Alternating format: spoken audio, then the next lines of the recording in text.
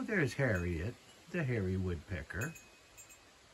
She's happy we got some more things hanging out there for her. And there's Hummer.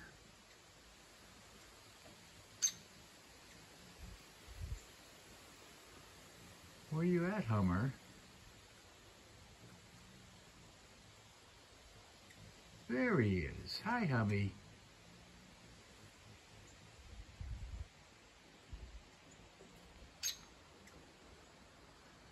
Hi, Hummy. Hi, Hummy. Yeah, hi. Yeah, you like those plants better than that sugar water, that's for sure. All right, Harriet. You have a good day and say hi to Harry.